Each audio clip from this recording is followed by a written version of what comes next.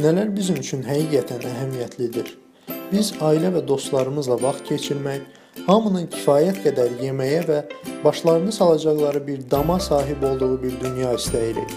Təmiz hava, təmiz su, stabil iqlim. Bax budur bizim istədiklərimiz. Bəs əldə etdiklərimiz nələrdir? Bizim üçün həqiqətən əhəmiyyətli olan mövzuların əksəriyyəti hər zamankindən daha əlçatmazdır. Bəs səhv gedən nədir? Bir sözlə iqtisadiyyat. Daha dəqiq desək, qlobal iqtisadiyyat. Qlobal iqtisadiyyatda vergilərimiz beynəlxalq şirkətləri dəstəkləyərkən yerli müəssisələr öldürür.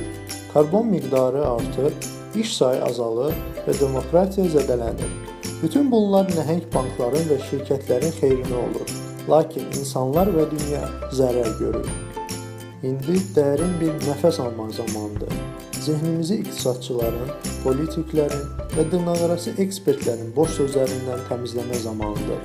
Son dərəcə sadə bir sualın cavabını düşünmə zamanı. Əgər problem qloballaşmadırsa, niyə tam əks yolda irəliləyib yerli cəmiyyətləri və iqtisadiyyatları dəstəkləmirik? Məsələyə hansı nöqteyi nəzərdən baxırsınızsa baxın, müvəffəqiyyət yerliləşmədən keçir.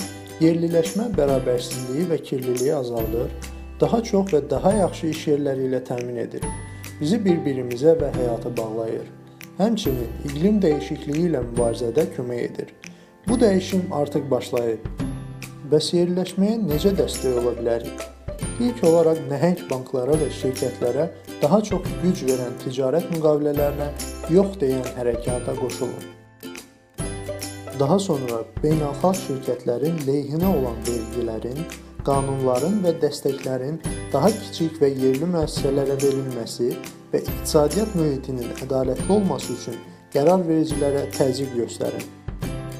Son olaraq iqtisadiyyatı kökündən yeniləyən qruplara qoşulun. Dəyişimə ehtiyac duyan bir dünya üçün yerliləşin.